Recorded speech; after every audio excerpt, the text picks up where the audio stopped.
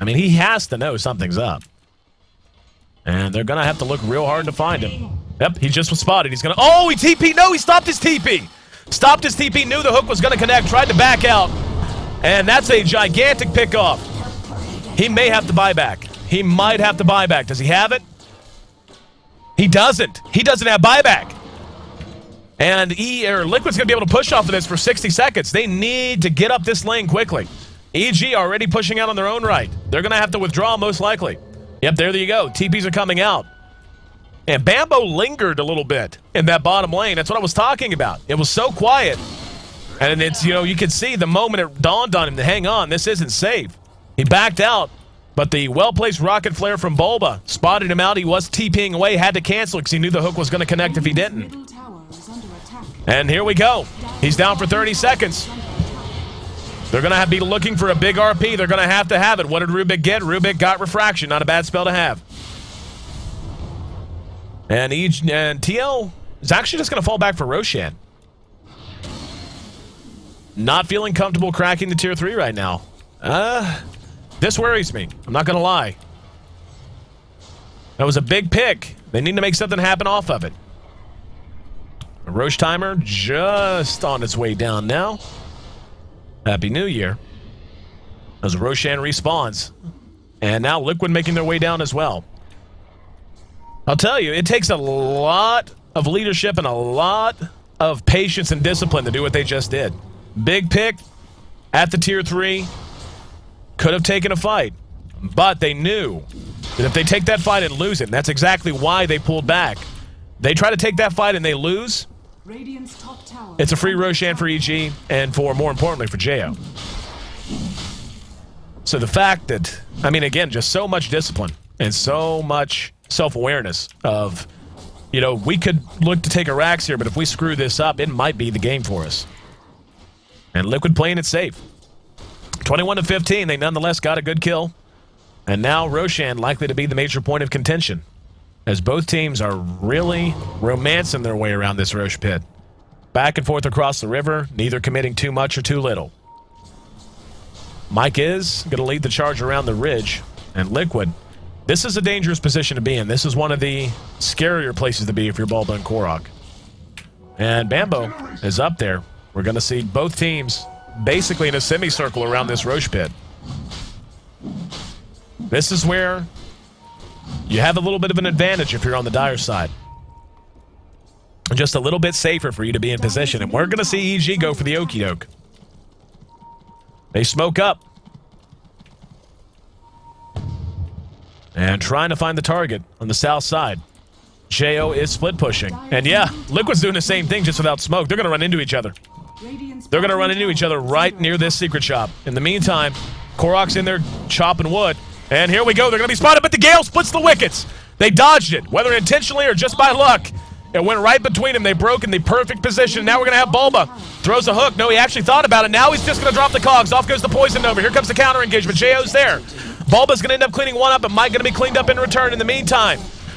The rest of them have gone into the Rosh pit. And Korok still going toe-to-toe -to -toe with Demon. Korok will be able to make it away. And Demon skewers out of position. Ends up dropping on the high ground, though. TC got it. TC got the Aegis. Jo wants to re-engage. Korok's there trying to survive via refraction. Finally, he's picked up by Fear and by Jo. But with all the illusions, the, the Eclipse not doing enough. However, the Satanic recently completed on TC allows him to heal through and Now the turnaround! And Fear stole Eclipse and turned it around. They get the Aegis. That's a full five-man wipe. So the Aegis goes into the pocket of Liquid, but immediately popped off by EG, Fear, stealing Eclipse and saving it for the right time. And that's actually a win for EG. A pretty big one at that. Being able to get that Aegis off because now Liquid is going to feel a lot of pressure to just push and go for it. The gold is still well in their favor. The experience still well in their favor.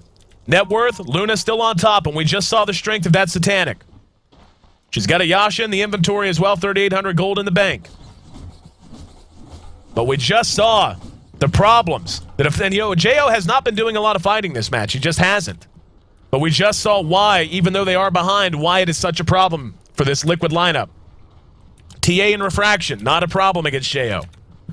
Luna as much as she can heal up. She's only going to have that satanic once. She's actually...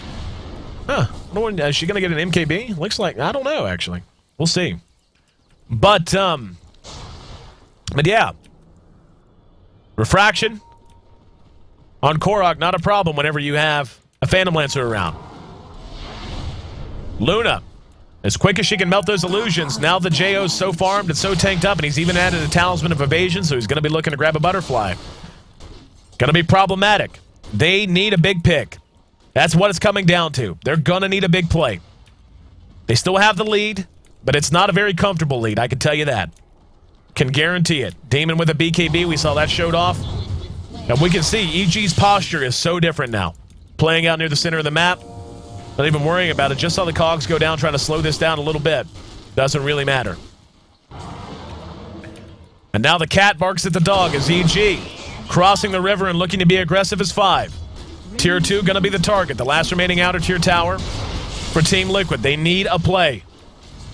And there's the hook. They're going to go for it. They caught Jo. Bulba's looking. No, he couldn't get the cogs off on Demon. Oh, he drops him, but doesn't get anything but illusions. Now they're going to try to re-engage. We're seeing Fluff eating damage from Bambo. There's an impale against JRP. Going to be spent on Korok, and here comes the Eclipse, but it's a day late and a dollar short. They needed a play, and Bulba went for it. But it just wasn't enough. Just wasn't enough. EG, who had slumbered almost all game, quietly farming, able to get the plays when they needed them, able to prevent Roshan and the Aegis from making it safely back to the Radiant side, getting it just as TC picks it up.